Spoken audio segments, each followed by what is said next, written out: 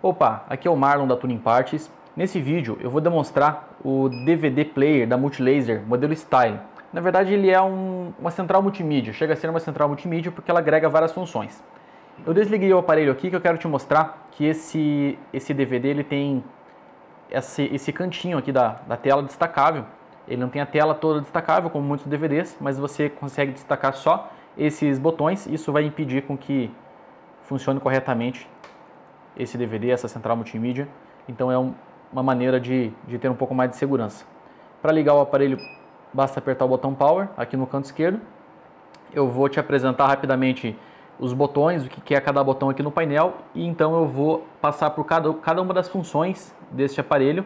As funções que eu vou passar é de rádio, DVD, CD, a reprodução via USB, TV digital, Bluetooth, entrada auxiliar, GPS, câmera de ré e também as configurações do aparelho.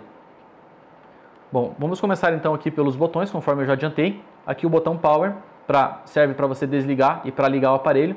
Para desligar tem que segurar ele por um instante. Se eu apertar apenas uma vez, ele vai apenas apagar a tela, de modo que o, o aparelho continua funcionando. Eu vou erguer o volume aqui, ó. Você pode ver que ele continua funcionando, só está, só está com a tela apagada. Clicando mais uma vez ali no Power, ele vai ligar novamente a tela. O botão Band, aqui do lado serve para trocar a banda da rádio entre FM1, FM2, FM3 e também as rádios AM. Aqui está o botão de volume. Posso girar ele. Também posso pressionar esse botão, ele vai para o equalizador. Pressionando novamente ele saiu do equalizador. Aqui eu tenho entrada USB, entrada para cartão SD, entrada auxiliar P2. Do lado direito eu tenho o botão de ejetar o disco Aqui o botão mudo, o botão APS, que vai variar de acordo com a função que você estiver executando. Aqui o botão mod, que serve para você trocar entre as funções. Botão nave, que vai acessar o navegador GPS. E aqui o botão de avançar e retro retroceder músicas, faixas. Muito bem, já estou aqui na opção de rádio, eu vou falar rapidamente um pouco sobre essa função. É, essa interface aqui do rádio, ela é bem bacana, você consegue alterar aqui a banda no botão banda ou também aqui no botão band, conforme eu já disse. Então eu tenho aqui FM 1, 2 e 3 e AM 1 e 2. E aqui no botão buscar, basta você pressionar o botão buscar, ele vai fazer uma varredura, vai encontrar todas as rádios. E o interessante que esse aparelho faz, que são pouquíssimos aparelhos no mercado que fazem isso, é que ele não para aqui na sexta rádio, ele está na quinta, sexta, agora aqui o FM1 mudou para FM2. Ele já muda automaticamente para a próxima banda e continua buscando as rádios. E vai até o final, tá? Aqui eu já tinha feito a busca antes, então ele identificou que estava ficando igual e ele não, não continuou fazendo, mas é porque já estava gravado. Ó. Eu já tenho em FM2 aqui até a rádio 100.3, em FM3 eu já tenho aqui até a rádio 105.5, só aqui que ele não preencheu a 108 porque não existiam mais rádios para preencher. É, então aqui você consegue fazer a busca de rádio, então você pode acessar as rádios aqui diretamente pelos botões, aqui embaixo onde ficam as rádios gravadas. E esse botão aqui, navegador, é interessante que ele fica. Sabe quando você está procurando algo na rádio, não está encontrando e fica trocando de rádio? Ele faz automático. Ele toca ali essa rádio por alguns segundos e aí já passa para a próxima. Se você quiser escutar essa, basta você dar um clique e mantém na rádio que, você, que, que ele estava tocando naquele momento. Aí que existem algumas outras funções, como mudar de estéreo para ou não, deixar mudo, mas aqui são algumas funções básicas, o mais importante do rádio era isso. E se você quiser gravar uma, uma rádio, por exemplo, basta você entrar na rádio e segurar a posição que você quer gravar, ele já vai gravar a rádio. Bom, muito bem. Agora eu vou voltar para o menu principal do aparelho que eu não havia mostrado, porque quando eu liguei ele já acessou a função de rádio. Apertando aqui essa tecla que tem aqui no canto direito, a flechinha para cima, ele vai voltar no menu do aparelho. Se eu não apertar nada aqui e deixar parado nessa tela, ele vai voltar para o rádio, porque o rádio continua sendo executado. Eu, eu vou só voltar aqui rapidamente para te mostrar. Eu vou colocar numa rádio, está passando aqui a voz do Brasil, e eu vou voltar para o menu principal eu quero que você note, veja como a rádio ela continua sendo executada. Se eu não acessar nenhuma outra função, ele vai voltar para a rádio, automático. Ó, acabou de acontecer isso. Bom, eu vou voltar para o menu principal e vou acessar agora a opção DVD. Na verdade eu não vou conseguir acessar aqui pelo menu, eu não tenho nenhum DVD inserido do, aqui no aparelho, eu vou fazer isso agora. Vou colocar um DVD. Agora sim ele vai executar. Se eu já tivesse com esse DVD inserido e tivesse ali na função de rádio e apertasse o botão de DVD, ele teria acessado. Não acessou porque eu não tinha o DVD dentro do aparelho. Ele já está fazendo a leitura e aqui já começou a fazer a leitura do DVD. É bem rápido, achei até assim, me surpreendi, eu achei que esse seria um aparelho que não fosse é, porque ali no menu ele realmente é, ele é um pouco lento, um pouco enroscado para mexer, mas a parte de reprodução aqui do DVD ele é bem, bem rápido. Eu fiquei até surpreendido quando eu comecei a mexer aqui agora há pouco antes de começar a gravar esse vídeo. Já está executando aqui o DVD, vai acessar o menu. Eu vou ejetar, não vou entrar aqui é, no mérito de acessar as músicas do DVD, isso é simples. Vou colocar um CD também, apenas para que você possa ver que a interface ela muda. Coloquei ali o CD, ele já começa a fazer a leitura.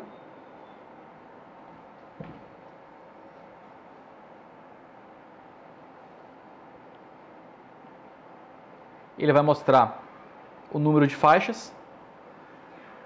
Você pode acessar diretamente a faixa. Aqui em lista, você consegue voltar para a lista de faixas. E aqui embaixo, quando está executando, você tem as opções de voltar, de deixar mudo, de fazer stop, de colocar a função de execução aleatória e aqui também a função de repetição. Não vou entrar também em mais detalhes. Agora retornando para o menu principal, eu vou executar a função do USB para que funcione. Ela está aqui embaixo, a função USB, mas não vou conseguir acessar também. É, não tenho o pendrive aqui, aqui na, colocado já no aparelho. Eu vou fazer isso agora. Coloquei o pendrive. Ele vai já executar também, é automático, ele identificou que eu pluguei o pendrive no aparelho. Ele vai fazer a leitura dos arquivos. Por mais que eu tenha arquivos é, em várias pastas diferentes, ele vai mostrar aqui os arquivos conforme o tipo selecionado. Por exemplo, aqui em lista, eu estou na opção de música. Então ele vai mostrar aqui as pastas que possuem músicas. No caso do pendrive com músicas MP3, este aparelho ele é capaz de conseguir ler o nome da música, o nome do artista. Se isso estiver corretamente preenchido no arquivo de música MP3, ele vai aparecer aqui. Eu também consigo navegar, assim como no CD, consigo avançar de música, retroceder, parar, colocar aleatório, enfim. Eu consigo vir aqui e alterar também para ver foto e vídeo. Então eu tenho aqui algumas, deixa eu ver se eu tenho alguma coisa que eu consiga visualizar aqui no aparelho, que eu não preparei esse, esse pendrive para fazer esse teste. É, eu tinha uma foto aqui de um botão de farol de milha, ele já conseguiu executar. Agora aqui em vídeo, deixa eu verificar se eu tenho algum vídeo aqui. Tem alguns vídeos que eu fiz para testar no aparelho da Pioneer, vamos ver se vai funcionar aqui também. funciona. Então você consegue reproduzir vídeos e fotos e música através do, do pendrive, através do, da porta USB desse aparelho. E o funcionamento também é idêntico caso você insira aqui um cartão SD card. Você pode usar ou a USB com pendrive ou direto um cartão SD card também vai funcionar da mesma maneira, a interface vai ser idêntica a essa. Eu vou retornar para o menu do aparelho e vou agora para a próxima opção. Deixa eu só remover aqui o pendrive. E agora eu vou mostrar para você a função de TV digital. Ele só está voltando aqui para a função que estava executando antes, que se eu não me engano era o CD player. Eu vou ejetar esse CD. Aqui ele vai voltar para o rádio. Muito bem. Agora sim, eu vou para a função de TV. Eu posso fazer isso pelo menu. Agora eu tenho que rolar o menu aqui para o lado. A TV é a última opção. E SDB é a função de TV. Se você preferir, você também pode apertar o botão Mod, tá? Você consegue navegando entre todas as funções. Vou apertar aqui para acessar a TV.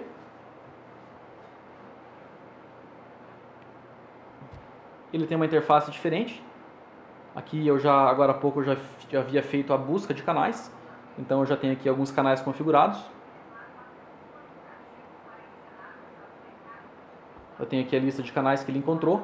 Os canais que vão aparecer na TV digital vão depender da localização que você está usando esse aparelho. Então tem que ser um local que tenha sinal de TV digital. Quanto mais canais com sinal tiver na cidade, mais canais você vai ter disponível como TV digital.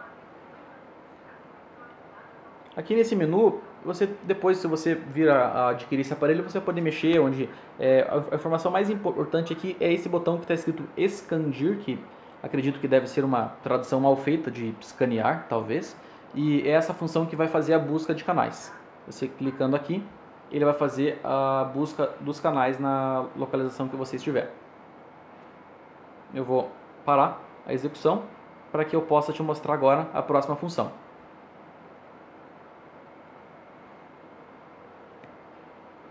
Vou retornar para o menu principal do aparelho.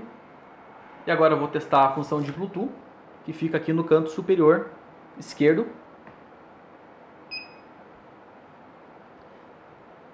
Eu vou fazer a conexão com o meu celular.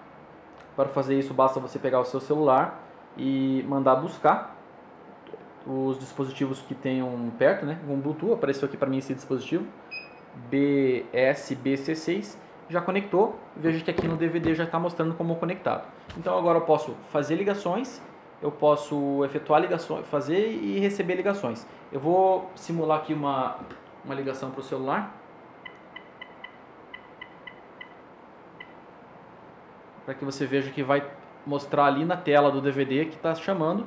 E aí eu posso apertar aqui a tecla verde para atender a chamada. Ó, veja que já está mostrando ali que está ocorrendo uma chamada. Eu vou desligar, eu não vou atender. Também posso originar uma chamada através do teclado. Posso acessar a minha agenda telefônica. Posso ver os registros de ligações. E também posso acessar a função de música do celular.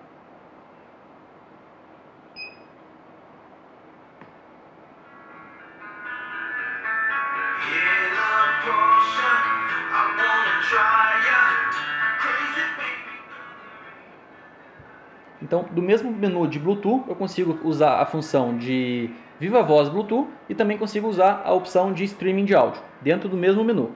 Aqui tem algumas configurações que é só, na verdade, ligar ou desligar o Bluetooth.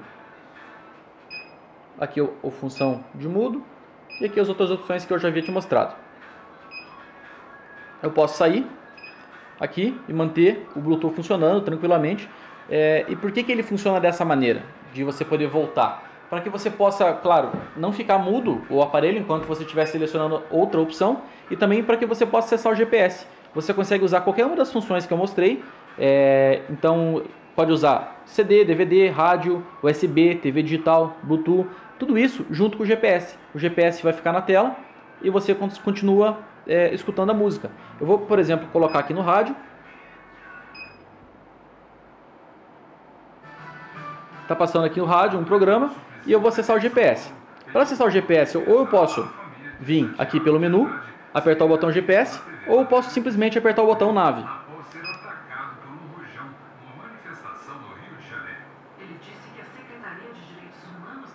Então veja que já começou a executar o software do GPS, mas não deixou de reproduzir a música da rádio. Se eu estivesse executando DVD, CD, TV digital, música por Bluetooth, também continuaria executando a música e o GPS iria executar também dessa maneira que você está vendo aqui. Então agora você pode usar aqui o GPS para traçar a rota. Eu não vou entrar aqui do mérito também de é, como se usa o GPS, tá? É, mas você está vendo que já funciona aqui o GPS. E, e o GPS ele continua executando. Para voltar lá para o menu do DVD, por exemplo, eu quero trocar da rádio para o CD. Basta apertar o botão nave novamente, que ele vai minimizar o GPS e você fica livre agora para mexer no aparelho. Então eu quero acessar, por exemplo, o Bluetooth novamente, na função de música. Já começou a reproduzir a música e agora eu quero voltar lá para o GPS. Eu poderia ter traçado uma rota, poderia estar navegando, basta apertar o botão nave e eu tenho aqui o GPS na mesma posição que eu estava antes. Claro que se eu estiver em movimento vai ter movimentado, mas a rota que eu havia traçado, a configuração que eu havia colocado no GPS, ela mantém. Eu não vou ter que traçar a rota novamente. Ele continua executando em segundo plano.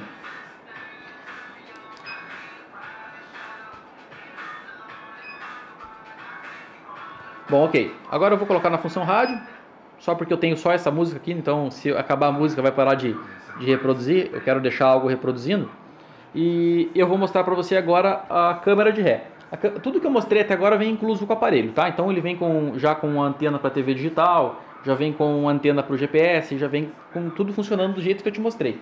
É, agora eu vou mostrar a câmera de ré, mas a câmera de ré ela não acompanha o aparelho. Essa câmera tem que ser comprada separadamente. É uma câmera normal, uma câmera com entrada RCA. Quando você engata a ré, claro que tem que estar tudo instaladinho, bonitinho, conforme consta no manual de instruções do aparelho. Quando você engatar a ré, conforme eu vou simular agora,